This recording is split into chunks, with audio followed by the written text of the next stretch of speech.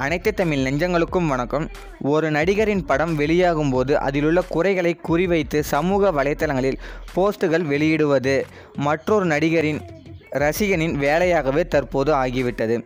அது ஆரோக்கியமான விஷயம் இல்லை என்றாலும் அது தொடர்வதை யாராலும் தடுக்க முடியவில்லை. இந்த சூழலில் விஜய் நடிப்பில் உருவாகியுள்ள பீஸ்ட் திரைப்படம் கோலிவுட்டில் மிகவும் எதிர்பார்க்கும் திரைப்படமாகும்.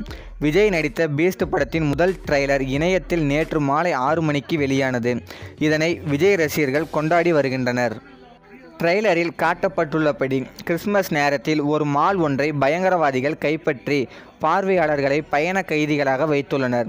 உளவுத்துறையும் அதிகாரமும் ஒரு திட்டத்தை செய்ய தொடங்கும்போது அவர்களின் சொந்த இராணுவ வீரர் வணிக வளாகத்திற்குள் இருப்பதாகவும் பயண கைதிகளில் ஒருவர் என்றும் அவர்களுக்கு தெரியப்படுகின்றது. எதற்கும் அஞ்சாத இந்த ஒல்லியான மற்றும் சராசரி உருவமாக உளவாளி வேடத்தில் விஜய் வீரராகவனாக அறிமுகமாகின்றார். அவர் மத்திய கிழக்கில் முழு இராணுவத்தையும் எதிர்த்து போராடியவராகவும் துப்பாக்கிகள் முதல் போர் விமானங்கள் வரை அனைத்து வகையான ஆயுதங்களையும் பயன்படுத்தியவராகவும் காட்டப்படுகின்றார். விஜயின் ரசிகர்கள் கொண்டாடி வந்த இந்த ட்ரெய்லரில் ஒரு சுடப்பலை நெட்டிசன்கள் கண்டுபிடித்துள்ளனர். ட்ரெய்லரில் இடம்பெறும் ஒரு சண்டை காட்சியில் முதல் ஷாட்டில் சாதாரண ஷூ அணிந்துள்ள விஜய் அடுத்த ஷாட்டில் ஸ்கேட்டிங் ஷூவுடன் உள்ளார். படத்தில் இதனை நெல்சன் கோட்டை விட்டுவிட்டாரோ என அஜித் ரசிகர்கள் மீம்ஸ் போட்டு கலாய்த்து வருகின்றனர். இது தவறுதலாக இடம்பெற்றதா ஆட்சியில் ஏதேனும் உண்டா என்பது படம் வெளியான பிறகு தெரிந்துவிடும்.